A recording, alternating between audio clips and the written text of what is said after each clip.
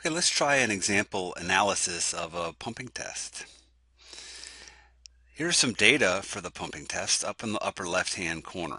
The pumping rate is 7 cubic feet per minute. The data will be measured from a monitoring well at a radial distance of 50 feet, aquifer thickness, the distance to a stream, and we can see that over here on this map. So we've got a, a, a small sketch map that shows the site.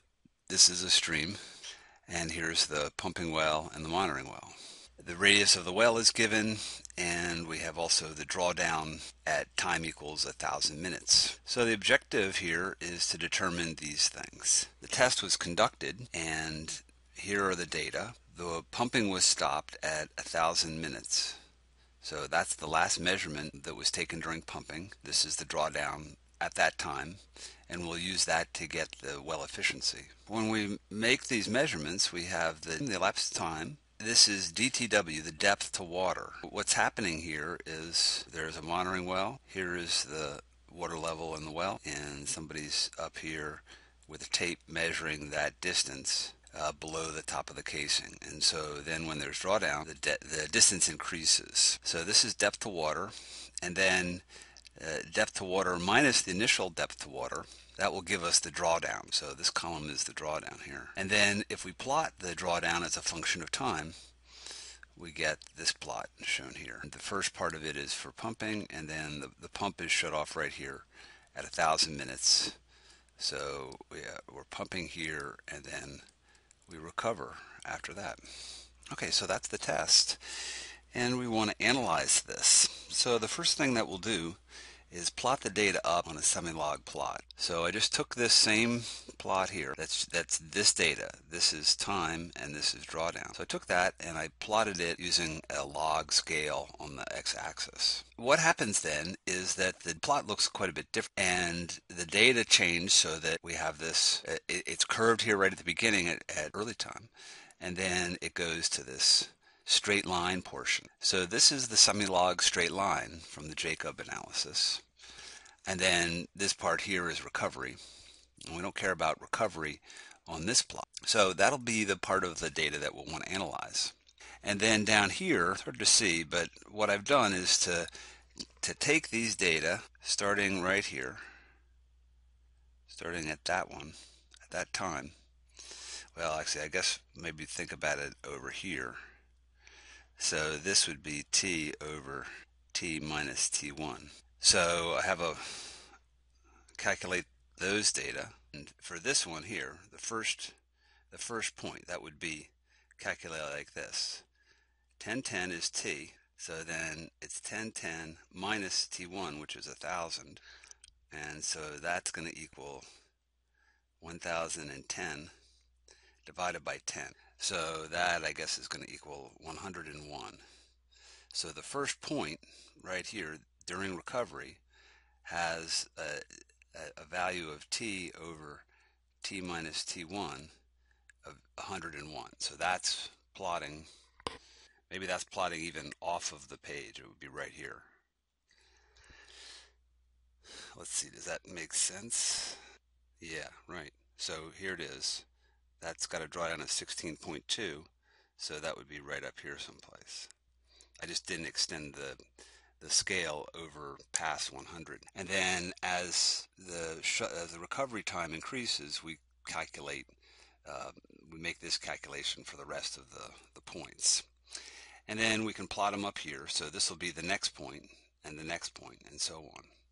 And then we'll be interested in, in these data.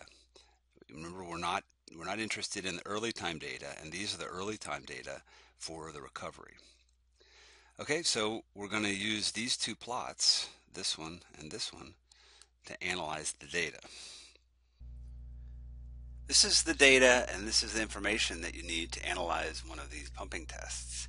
So what I want you to do is sort of pause the video right now and then move ahead and work on the analysis on your own you can print out a copy of this page, work it up, and give it a try. After you've done that, then go ahead and start the video again, and I'll show you how I did the analysis, and I'll give you the results so you can check yourself. Let's go ahead and fit that line. straight line to the straight line part of the data or to the late time part of the data. And then what I'm going to do is calculate the slope of this green line. And this is an important part, and this is where people often make mistakes.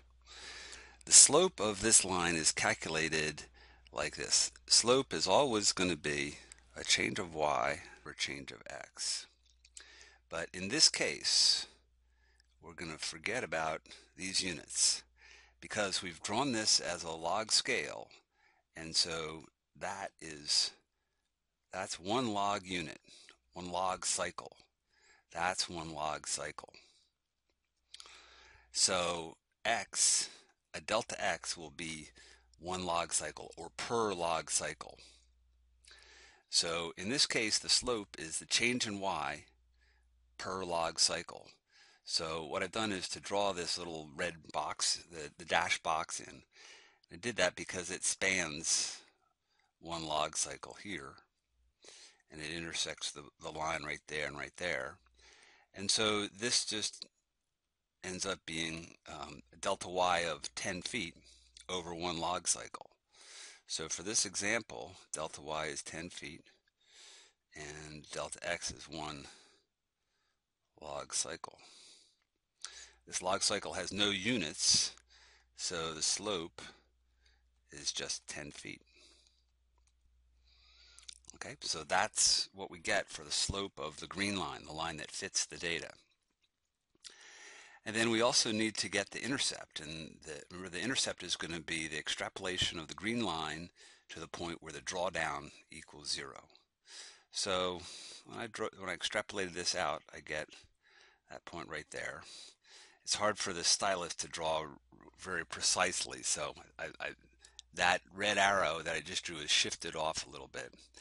But it looks to me like the green arrow comes and comes down and intersects the x-axis where um, the drawdown is equal to zero at about nine minutes. So t0 equals nine minutes. Okay, so that's enough to start the analysis. Here are these equations that I copied from a previous slide and we can go ahead and use them to calculate the results. So T is 0.183 7 and the flow rate is in cubic feet per minute. And I would urge you to write the units out. The slope is in 10 feet. So let's go and check the units. So that cancels with that, with one of those. And so that'll become 2. So the units will be feet squared per minute. And if we go and do that calculation out, I get 0.128 feet squared per minute for the transmissivity. The next step will be to calculate the storativity, and that'll be S is 2.25 times the value of t that we just calculated. I'm going to just round this to 1 or 0.13 feet squared per minute. T sub 0 is 9 minutes. And R, well, R is right here these data were measured at a monitoring well, and so R is the radial distance from the pumping well to the monitoring well. So that would be 50 squared feet squared. So check the units, that cancels with that, minutes and minutes.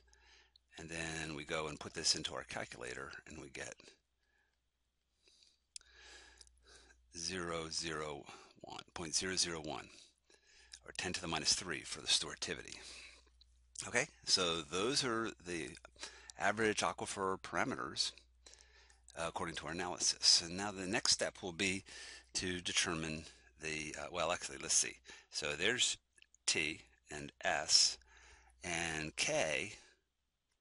K will be equal to T over B. So that'll be 0.13 feet squared per minute divided by 25 feet.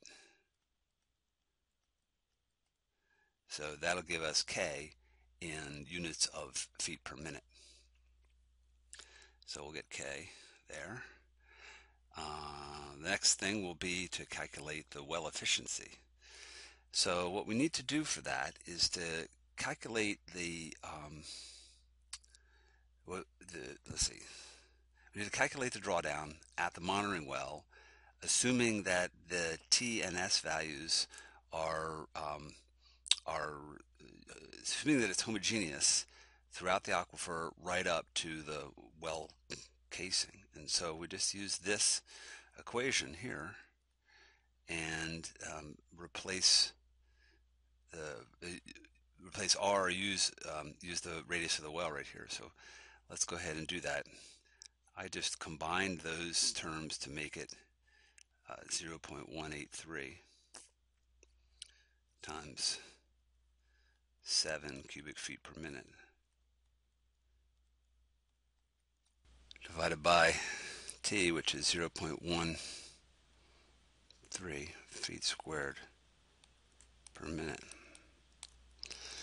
And now we're going to need to have this log term, and it's kind of kind of large, so what I'm going to do is erase some of this stuff here. And again, I've combined the numbers here. So that's 0.13 feet squared per minute. T, now it's important to remember, Tm.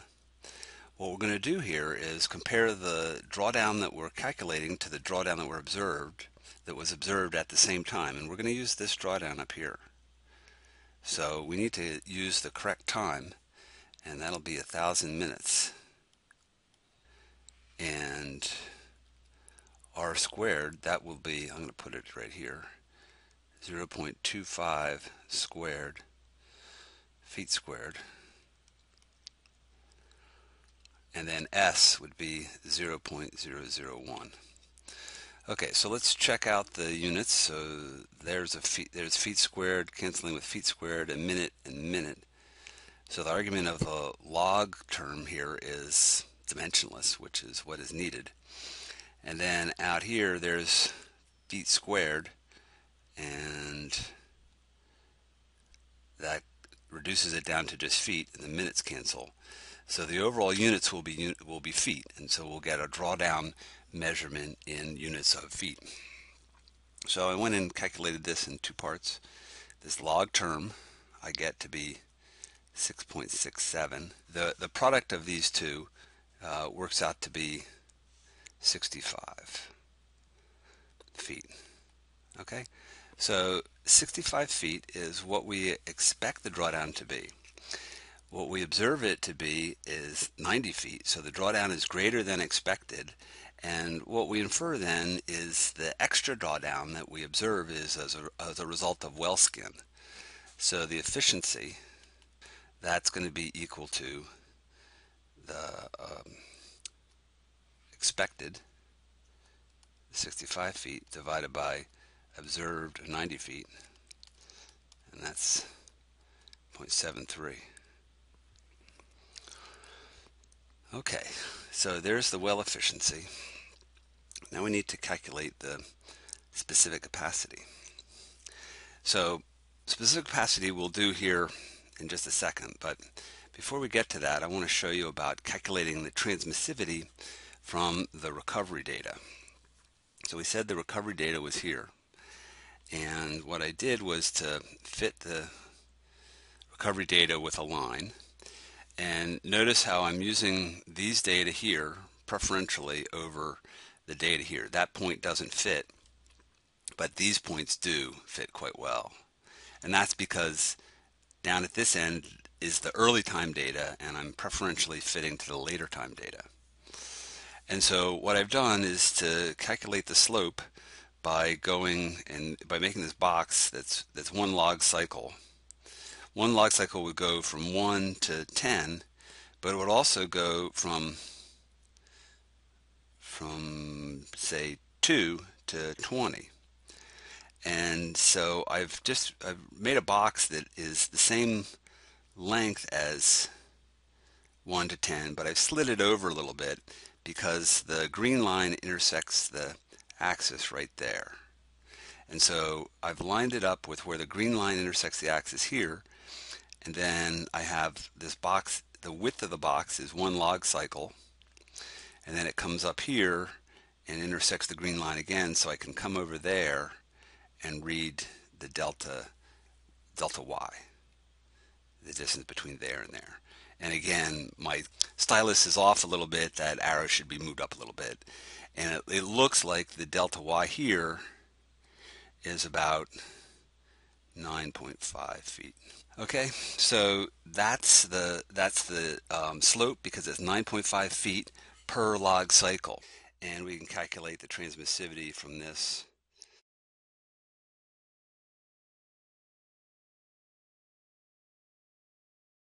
And so I did that calculation out, and it's a little bit more than 0.13, but I'm just going to round it down to 0.132. So now we've analyzed the recovery and we got a little bit different value than what we got during pumping, but essentially it's supporting the value that we got from pumping. It's consistent with that. So the next step is to evaluate the steady state specific capacity and we have the values that we need to do this. So let's just write it out. So it's 2 pi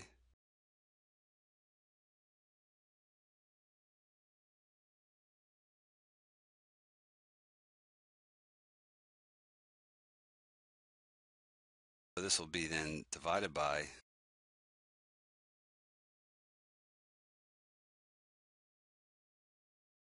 here we have units of feet squared per minute so that looks good and now we got to go and crunch the numbers I get this as a result. 0.11 feet squared per minute. So that's the steady state specific capacity. Now what we might do is to write this a little bit differently. We could write it like this, 0.11, well actually I'm running out of room so I'm going to go over here, 0.11 cubic feet per minute per foot of drawdown. Okay, that has the same units as this, but it preserves the concept of the specific capacity being the flow rate, cubic feet per minute, per foot of drawdown.